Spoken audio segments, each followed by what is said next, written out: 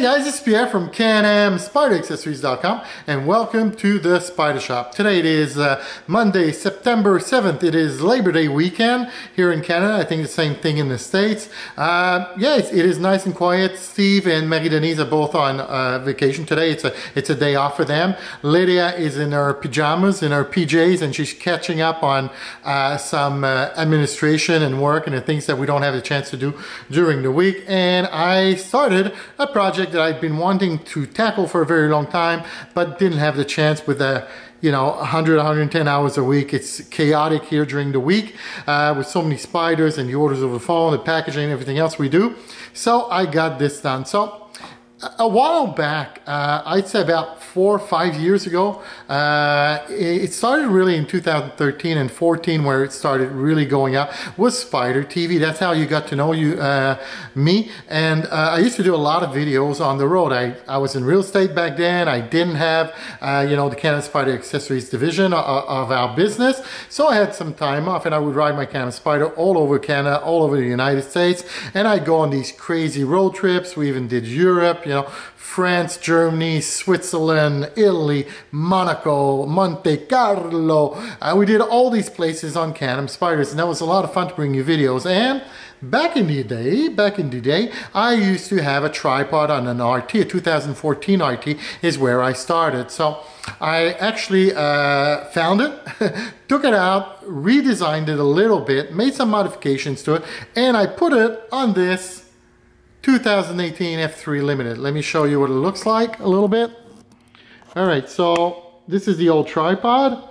I changed the base right here. I put some a new piece of wood here, and I've got my camera, my GoPro camera uh, up here. I'm going to be using GoPro 7, which I have. So I'm going to be using that. So we got the tripod. In the back here, I've got a double suction cup to make sure that everything is nice and secure. Again, we're using some ram mounts here. I'm using some ram mounts up here. Tie. This is pine wood. It's actually what you use uh, when you do wood a wood um, project and you need to have, um, ah, geez, I don't know what the word in English is, but you've got all different sizes of these tubings and you use them to join pieces together. I'm sorry, I can't think of the name in English.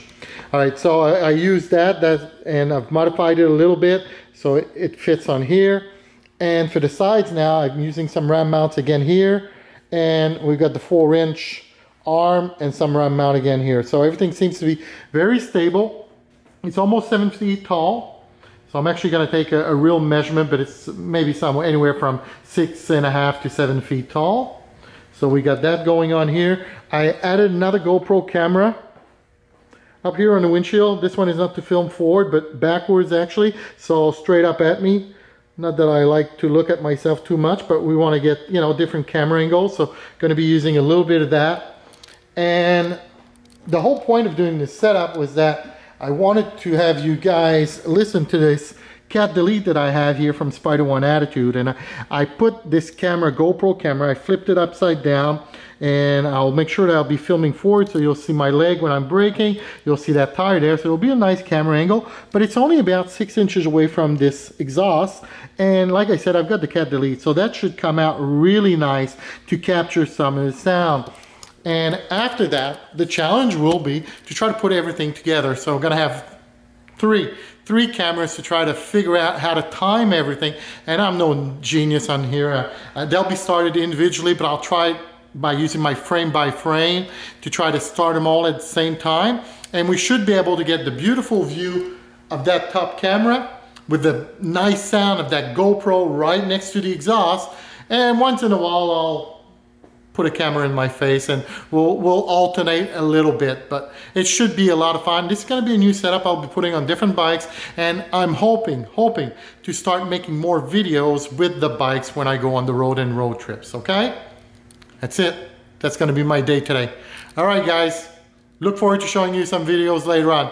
Take care. Bye-bye. Oh, yeah, and, and, I might make a commercial uh, product out of this. I'm not sure yet. I would make it out of aluminum, uh, so I'm working on something. So that's it. And I'm supposed to say, please subscribe to the YouTube channel. I'm always shy about asking, but really it should and helps everybody. Grows the channel. It's good for me. It's good for you guys as well.